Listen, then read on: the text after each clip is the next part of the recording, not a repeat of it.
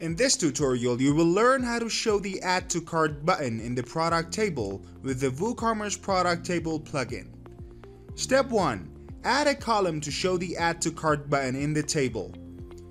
When you want to add a button to the sale content of your product table, first navigate to the Columns tab and press the Add a Column button in the middle of the page and then click on the Add Element option in the Cell Context box to see the list of the elements in the Element Setting panel and choose Button from the list. Step 2.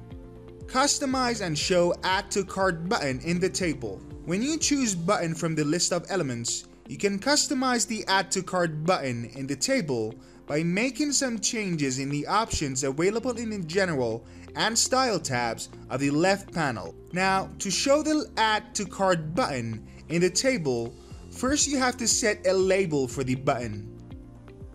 Then, choose a link to let the plugin do an action when customers click on the button. The next thing you're gonna do is customize the appearance of the button in the table. Suppose that we want to show a basket icon in the add to cart column and let the customers add the product to their cart by clicking on this icon. Let's see how we can do this. Setting a label for the button. By default, you can see buy here as a text message in the label section. However, you can change this label by proceeding the following instructions. The first thing you're gonna do is click on the trash icon of the text element. Then, click on the add element option and then choose an icon from the list of elements. Now, open the list of icon names and choose the shopping cart.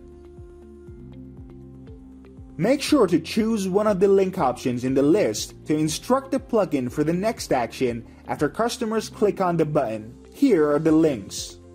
Add to cart via Ajax.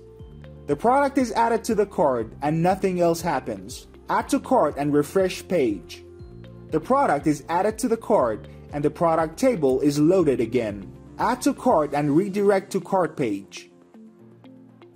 The product is added to the cart and the customer leads to the cart page. Add to cart and redirect to checkout page. The product is added to the cart and the customer leads to the cart page. Add to cart and redirect to custom URL.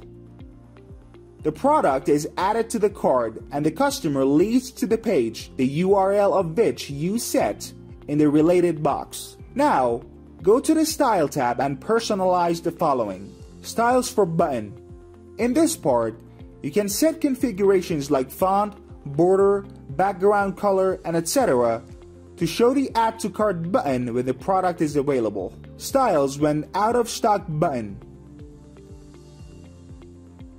To change the appearance of add to cart button when the product is not available, you can set the opacity and change other configurations like font settings, background color, border settings, and etc. Style for cart badge.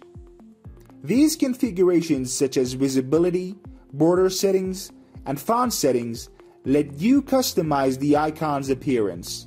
And finally, when you've finished all configurations, the Add to Cart button will be displayed in the table. Now, let's go ahead and take a look at it on live preview.